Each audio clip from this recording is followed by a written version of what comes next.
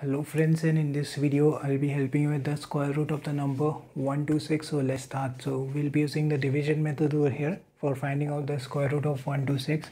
So first we need to write the number like this.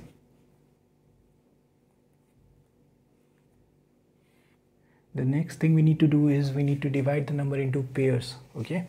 So one pair is this and this one is left out okay. So first we'll divide this one and then we'll bring down numbers in pairs okay the rule is whatever number we place here we have to place here also. So if we place 1 here we have to place 1 here also it will be 1 if we place 2 here we have to place 2 here also it will be 4 now we cannot go with 2 because 4 is greater than 1 so we have to go with this one. So 1 here and 1 here subtracted will be left with 0 now whatever is your divisor added with what you multiplied with. We did 1 into 1 right? So do 1 plus 1 it will be 2 and keep one digit extra now we need to make this number bigger so that we can divide right? So bring the next pair down and it will become as 26 right? Now the rule is whatever number we place here we have to place here also. So one will be okay. So one here and one here 21 subtract it will be left with 5 and now we multiply this 21 with 1 right? So add both. So 21 plus 1 will be 22 place it here and keep one digit extra now we need to make this number bigger so that we can divide right? But we don't have any more pair present over here. So what we'll do is we'll put decimal. Once we put decimal we can bring down numbers in pairs. Sorry we can bring bring down zeros in pairs okay? Once we put decimal like normal uh, division also once we put decimal we can bring zeros down. But here you can bring pairs of zeros down okay? So it will become as 500 now it's easy. We can use 2 here. 2 here. We'll get 4 4 4 subtract it. We'll be left with 56 right?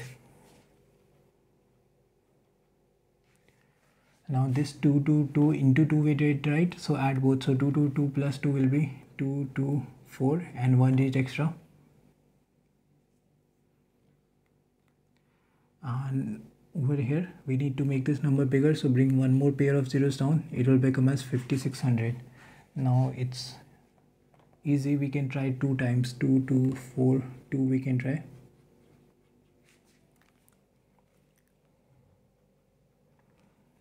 We'll have number as 4484 which is all right to take. So 2 here and 2 here.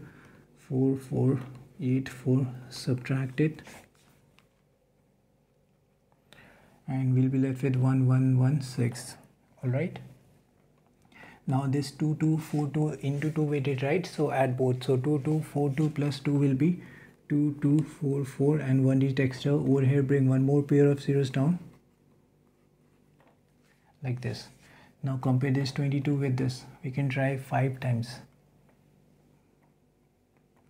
Uh, 22445 into 5 we can try